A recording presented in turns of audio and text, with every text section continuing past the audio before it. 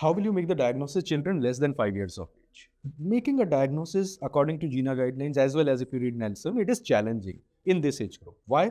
First of all, the symptoms can often be variable even in non-asthmatic children.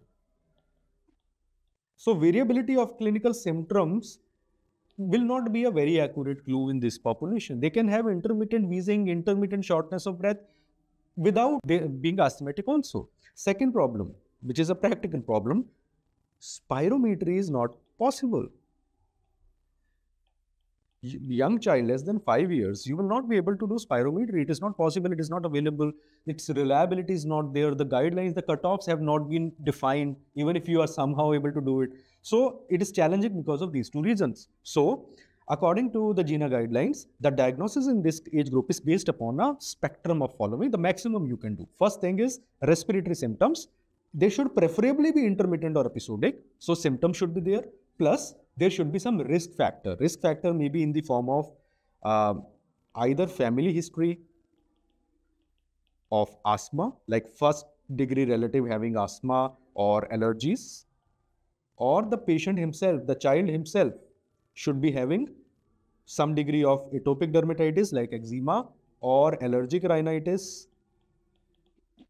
or food allergies, etc. Right?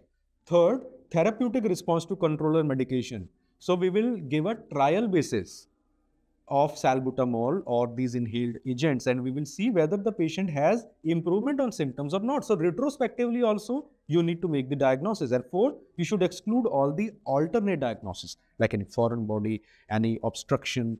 Uh, sometimes uh, certain viral infections can produce wheezing without the patient himself being asthmatic. So all these uh, reversible causes or alternate causes need to be ruled out. So it is less of a spirometry based uh, thing, more of a clinical history, examination and therapeutic trial based diagnosis that we make in these children. So these four points you need to remember. So uh, the guidelines also talk about what are the features when you will be talking about when you should be taking history and examination. So when you're talking about cough, you should ask about a recurrent or persistent non-productive cough that may be worse at night or accompanied by wheezing and breathing difficulties. You should ask about cough occurring with exercise, laughing, crying, exposure to tobacco smoke, particularly in the absence of an apparent absence of an apparent respiratory infection.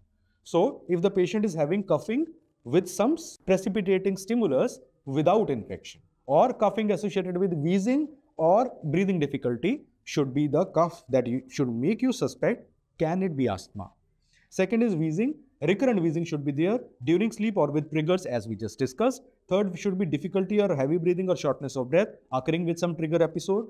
Reduced activity like children uh, the child the child's daily activity the child's uh, normal movement normal playful activity should be restricted by this uh, set of symptoms past or family history of these allergies and asthmas and therapeutic trial clinical improvement during 2 to 3 months of controller therapy and worsening when treatment is stopped parents would give the history that uh, we went to that doctor we went to that hospital we were advised nebulization or we were advised uh, you know spacer based therapies for this for this child.